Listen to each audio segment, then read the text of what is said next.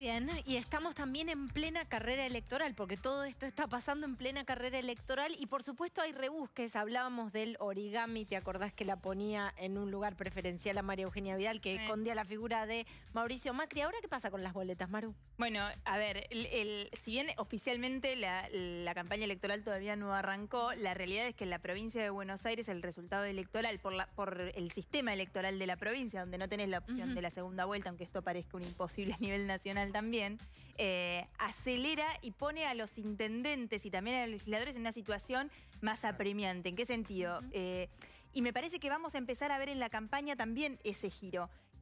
El, giro de decir, eh, así como vimos en Las Paso una ola celeste, por aludiendo al, frente, al color del frente de todos, que fue como copando y ganando en todas las provincias, marcar el mensaje de atención con lo que hacemos con el Congreso.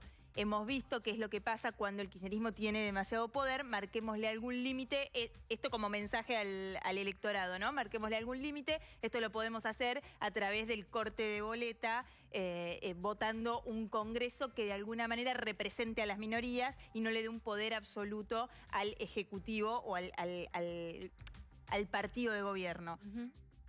Esto, si querés, que va a ser un eje de la campaña que vas a tener también a nivel nacional, por, el esquema que te dejó la paso, por la gran diferencia que dejó el resultado electoral, esta situación económica que estamos viendo, que hay varios que dicen si hicieras una elección hoy al gobierno le iría aún peor de lo que le fue en las PASO. Y esto en las intendencias de Cambiemos, sobre todo en la provincia de Buenos Aires, es un hecho, digo, ya nadie discute. Ni habla, claro, eh, no, no, vas a encontrar esos reclames de, perdón, reclamos de traición, de. Es casi como, este, bueno, sálvese quien pueda diciéndolo en términos más duros, ¿no? Pero eh, hay, hay, una gobernadora que está pensando en la gobernabilidad, justamente, de hecho, marcó una diferencia por ahí con Macri hoy cuando estuvo en el, en el Congreso de la, de la Unión Industrial, digamos. Futuro político.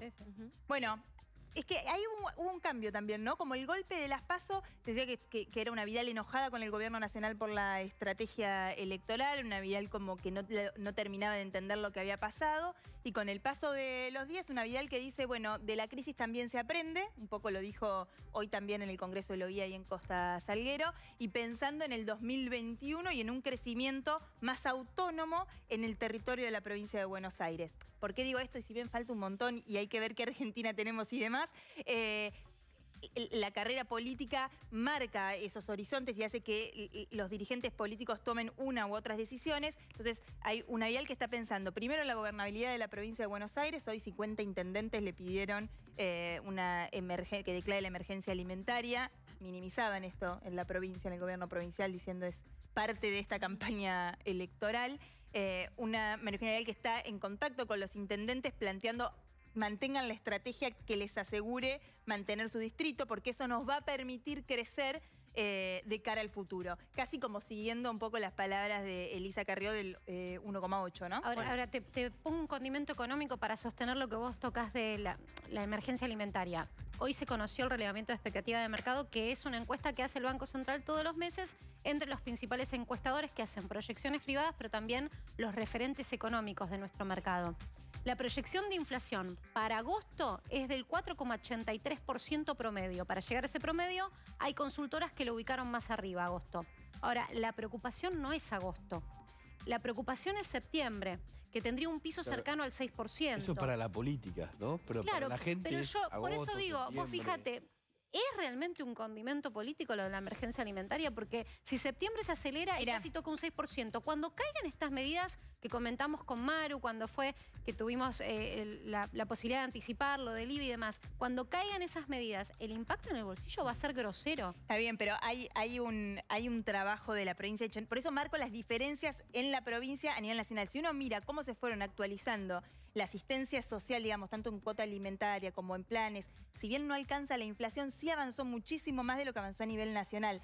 Hay, si querés, ahí un trabajo con los intendentes de, de- de más cercanía del gobierno No, de la hubo provincia. una- un, digamos, un acuse de recibo muy claro. De hecho, fue Bueno, muy claro. contrastante esa primera conferencia de prensa, si mal no recuerdo, en la Casa de la Provincia, donde se la vio con Daniel Salvador, el vicegobernador de la provincia de. Buenos Aires, donde ella hablaba una y otra vez lo que tenemos que hacer nosotros es escuchar. Y Y sí. contrastaba mucho con respecto a esa primera conferencia de prensa de Macri, con lo cual hay como una decodificación, me parece, más, más clara, de mayor quizás sensibilidad respecto de la situación por parte de la gobernadora, ¿no? Sí, yo creo que Vidal este, se auto, digamos, se recibió de líder autónoma en medio de la derrota. Digamos. O sea, la derrota la, la empujó un poco, paradójicamente, a graduarse de este, líder autónoma que ya no responde este, como respondió durante su gestión y, y lamentablemente también en, en la campaña que llevó a esta derrota, digamos, ¿no? a no fiel. las elecciones Y perdió la... fue la- el final de toda una serie de errores, digamos, ¿no? Entonces, me por- parece que eso lo ha, la ha autonomizado del todo y yo creo que ahora ya no, no le va a pedir permiso a Macri ni, a- ni siquiera a Rodríguez Larreta, que era en verdad este, tal vez su, su partenero, su, su, su, este, padrino político, digamos, más original, ¿no? Así que ahora, de parte de Vial, tal vez lo que podemos encontrar es este, una vida que empieza a apostar al futuro, digamos, ¿no? Rodríguez Larreta también va a seguir en la política. Macri va a seguir en la política, yo no lo sé, digamos, ¿no? Yo creo que na- nadie lo sabe. Este, porque él siempre condicionó un poco su vocación política a, este, bueno, eh, otros, otros objetivos en su vida. Vidal no es así, y, lo- y Larreta tampoco, digamos, ¿no? Son animales políticos más parecidos a los peronistas. Nacen y mueren haciendo política, ¿no? Ahora, también al mismo tiempo lo que sucede es que eh, la campaña electoral ya no existe más allá del control de la crisis. Lo único que importa en la discusión, y esto también es bueno, digamos, que esté sucediendo, lo único que importa eh, de acá al 27 de octubre es que el gobierno, tanto nacional como los gobiernos provinciales, contengan la crisis. Si lo hacen, tal vez se pueda ir a votar más o menos tranquilo. Digamos, va a haber este, a- a- algún grado de normalidad para ir a votar. Si no, las elecciones este, Bueno, no le van a importar a nadie. El caso de. Chubut, ¿no? Que ¿A quién le importa ir a votar si esto se sigue empeorando? Entonces, yo creo que se han dado cuenta que no, no hay que estar ya echándose la culpa, ya no importa, digamos, estar este, diciendo no, la cosa no es tan grave. La situación es dramática y hay que frenarla. Y entonces se han puesto un poquito adelante de la crisis. Hasta ahora venían cascoteándose entre ellos atrás de los acontecimientos. Ahora me parece que están ganando tiempo y ganándole al, al ritmo este acelerado de la crisis. Y, y tal vez tienen más chance de frenarla, digamos, ¿no? Con emergencia alimentaria, con las medidas de control de cambio, con lo que sea. O sea, en la emergencia vale todo, digamos, ¿no? Bueno, o sea, de repente igual viene en el medio a veces un cisne negro, ¿no? Que en el medio del clima de moderación, como lo de la reforma agraria de Grabois, que hoy Sí, por que supuesto fue ahora noticia en vamos todos lados, vamos las a seguir locuras, hablando. claro, las locuras siguen este, apareciendo, ¿no? Sí. Sí, sí, que son locuras, pero que de repente cobran una dimensión grande si uno tiene en consideración cierto peso específico eh, que puede llegar a tener esa figura, ¿no? Exactamente. Habrá que ver cuál es, ¿no? este, eh, si, si- si las cosas siguen como van, este, yo creo que Alberto Fernández sería el que tiene que estar más preocupado por este tipo Claro. de cosas, ¿no? Claro, sí. Nosotros sí nos alarmamos, pero digamos, el que tiene que ser responsable de esas locuras es él, digamos, ¿no?